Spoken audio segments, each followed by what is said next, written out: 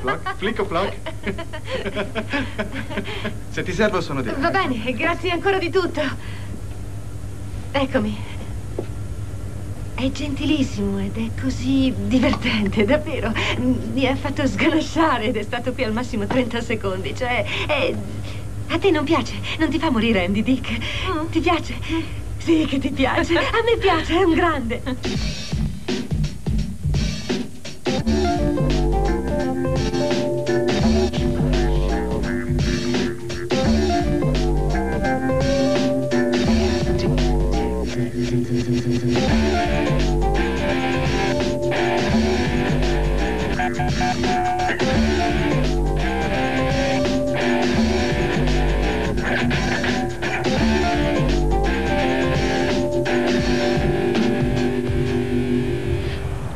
Dunque, allora, la mia professione è quella del supereroe e, e tengo il paese ripulito. Insomma, dove posso. Ecco. Ciao, Frankie Lee! Bottiti! Libero il paese dalla sporcizia con i prodotti adatti. E, e il mio nome è Capitan Capò. Il primo Capitan Capò era il mio papà. Diceva sempre che voleva far diventare il paese pulito e puro. Pulito e puro! Pulito e puro! Ma ho scoperto che era un supereroe solo quando è morto e così. Beh, questa è la sua camera. Guardate cosa ci ho trovato. Vi spiego, è un mantello da supereroe. E poi con il cappuccio qui, ecco. Si fa fatica a respirare, perciò lo sollevo. Mi pare che faccia anche più carino, con un bel sorriso. E poi questo simbolo sul mantello. Eh, non so, mi faceva specie e mi è venuto in mente di coprirlo con questo adesivo. Ecco. Simpatico, no? Capitan Capò, Capitan Capò, lo sporco lo mette KO, Capitan Capò, Capitan Capò, con te, con me, non è cattivo. Credo che si facesse chiamare Capitan Capò perché ho trovato questa spilla con scritto K, K, K. Coglione. Le iniziali di Capitan Capò. La ringrazio. C'è una K in più, ma i supereroi sono misteriosi. Nessuno, nessuno sa cosa vuol dire, no? Salve amici! Eh, du durante la notte, dato che lo sporco non riposa mai. Allora uso la torcia di papà, ecco. Mi piace proseguire la tradizione. Io ripulirò questo paese da cima a fondo! Mi diceva sempre quando aveva finito la sua bottiglia di. Adesso sono di ronda e... Eh? Ehi, ehi, va, va via, va via, va via! Perché? Ci sono gli opossumi, i procioni, sono tanti, tanti animali che girano dappertutto e mordono e diffondono le malattie. Hanno morso mio zio nelle palle e, e io non lo so come sia successo. Questa è quella che preferisco, il grande laso. Lo faccio girare così poi lo lancio sulla polvere, poi tiro. Ti ha preso? Qui nel quartiere non si sono ancora abituati a Capitan KO. Io cerco di aiutare la gente, ma a volte la gente non vuol farsi aiutare, non so. Mio padre era felice quando pulivo, anche se era ancora più felice quando si ubriacava di whisky. Era molto stressato, ora un po' lo capisco. È difficile ripulire il quartiere. Oggi non indosso il mio costume, come vedete. E vi dico il perché. Ieri sera ho visto un film che si intitola Mississippi Burning e, e sembra che ci siano persone che con un costume molto simile al mio fanno delle cose cattive. Veramente cattive.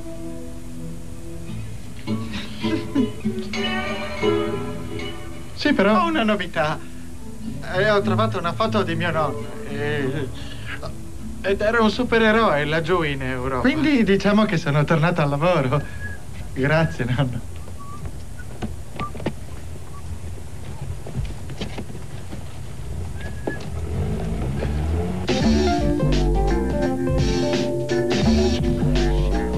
Verità nascoste con Grant Fishtrack.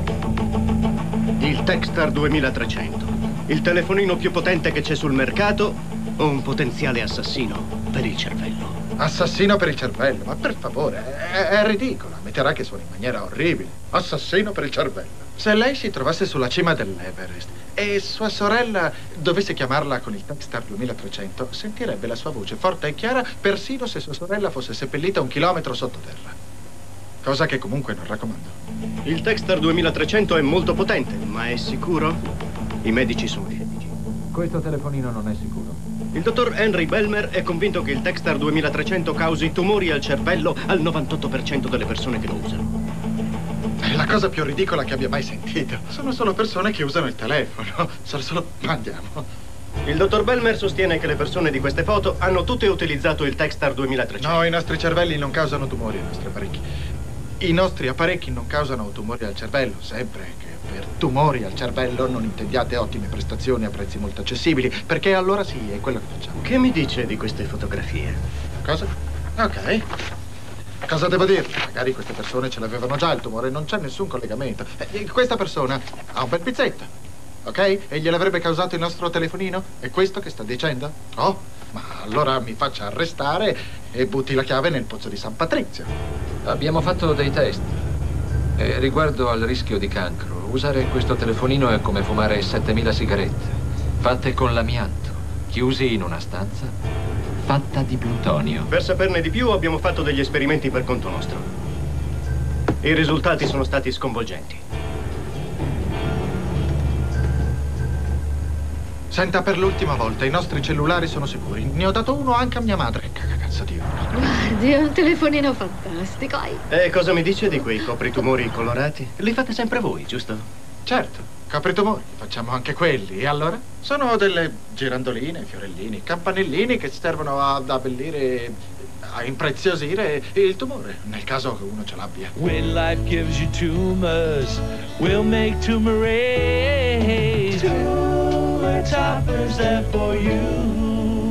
I copritumori non peggiorano lo stato del tumore. Chi ha un tumore anale consulti il suo dottore del culo. Ma cosa sono di preciso questi copritumori? Sono la nuova moda in fatto di accessori o una elaborata copertura per distrarci dai tumori al cervello? E ho qui un sacco di lettere, di lettere di ringraziamento. Grazie, mister Dalrymple, per tutti i prodotti che fa per me e per il mio tumore. La gente la ringrazia per averle causato un No, tumore. non ringraziano me perché ho causato un tumore, ma perché ho pensato a campanellini da mettere sul tumore. Mai scordarsi che, che- che tu abbia un tumore, ovvero la vita è bella.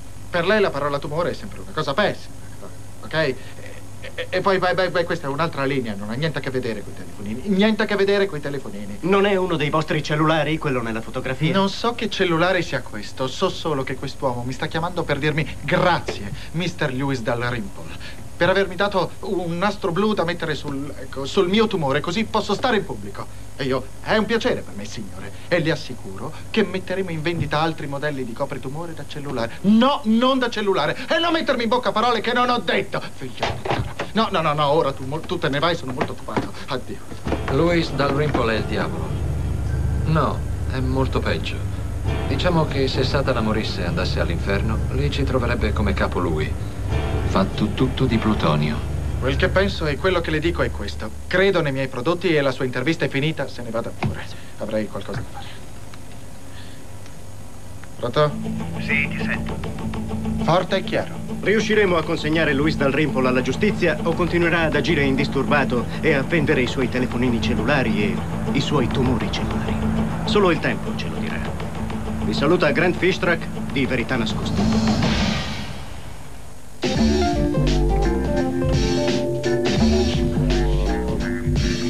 Buongiorno Minneapolis.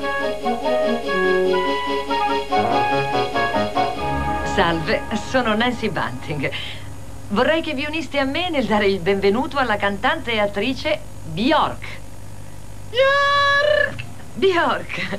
Non pensavo che vivessi sui balconi di Minneapolis. Benvenuta a Buongiorno Minneapolis, Bjork. Eh, Certo, tu sei un po' l'alternativa della musica alternativa. Quello che vorremmo sapere da te è il tuo ehm, volontariato con le balene. Tu sei... ehm, siediti, Bjork. Bjork, su qua. E siediti.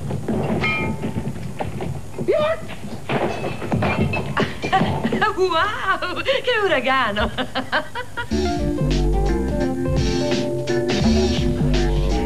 Ti faccio un bel massaggio, così tutto lo stress cattivo se ne va e tu no, sei no, bello non tranquillo bisogno, per il tuo sto bene. Ti spiace se mi siedo qui, sai, non ho niente da fare. Va bene. Adesso. Ciao. Ciao.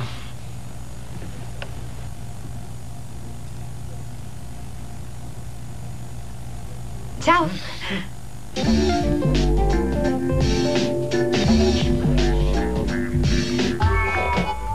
MTV al lavoro. Mi chiamo Bob Gunderson. Impacchetto sbarre di cioccolato. Mettile dentro. Ora incastrala bene. Bella aderente. Bene. Quando dico... Cioè, che io impacchetto barrette di cioccolato, non so, la gente tende a ridere. Probabilmente perché sono... sono un adulto e lavoro con il cioccolato. E, le caramelle, che sono cose da bambini. Credo sia questa la cosa che trovano divertente. Così, quando sono entrato a lavorare qui, com'è nella natura delle cose, avevo ruoli passivi, erano altri che impacchettavano. Ma poi sono subito passato al retro, perché diciamolo, ho la sensibilità del pacco. Onestamente nessun altro raggiunge certe punte di gusto. Ma se voglio, ecco, avere una certa qualità, devo fare una certa pressione sugli altri. Molto bene.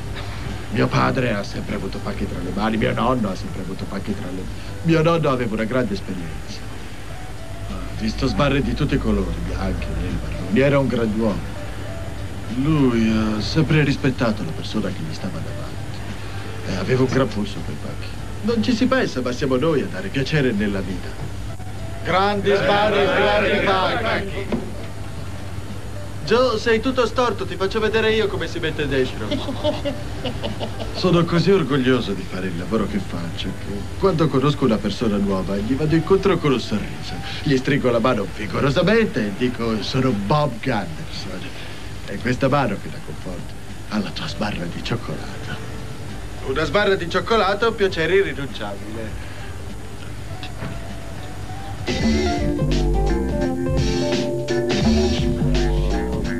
Buongiorno Minneapolis. Bjork oggi ci preparerà una tipica colazione islandese. Non so che ne dite voi, ma io non vedo l'ora di assaggiare un vero piatto vichingo. Questo in Islanda si chiama cioccolato... Cioccolato?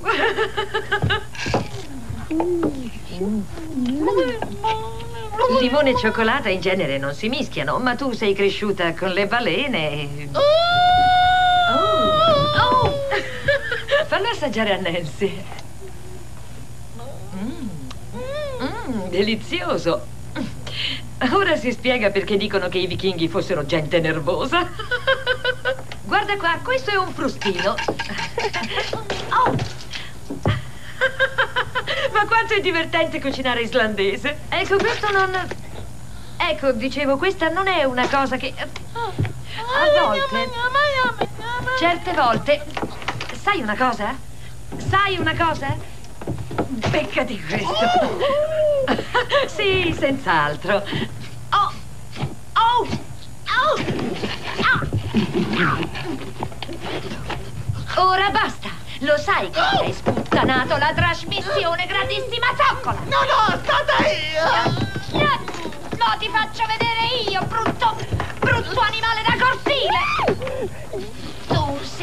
sei una maiala, sei una porca alternativa! Vieni a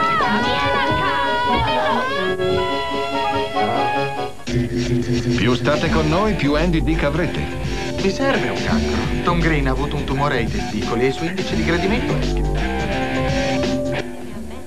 canterà la nuova hit di Mandy, I Wanna Be With You.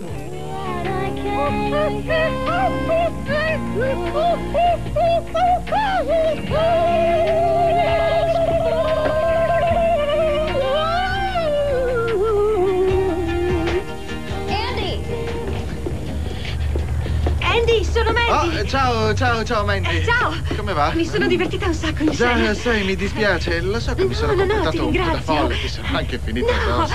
Anzi, perché non mi hai tirato qualcosa? Sarebbe stato più divertente. E guarda che non me la sono presa, mi diverto davvero. Ah, ti è piaciuto il cestino? Ah, l'hai mandato tu? Sì. Bello. Wow. Beh, eh, grazie. dargli un abbraccio. Ah, sì, ma certo. Bene, eh, ora però dovrei cambiarmi. Non è un spettacolo, per cui se esci. Ok, io mi faccio una doccia. Ehm, tu vai. Beh, Eh, sai, io dovrei. guarda, io mi siedo qui, guardo la tv, ascolto della musica, non ti accorgerai neanche che ci sono, te lo prometto. Ma non toccare le mie cose. Ti amo, grazie. Andy? Cosa? Sono Mandy, che stai facendo? Non entrare! Ok, ma... Andy? Per favore! Ah! Oddio! Sono nudo! La settimana prossima all'Andy Dick Show.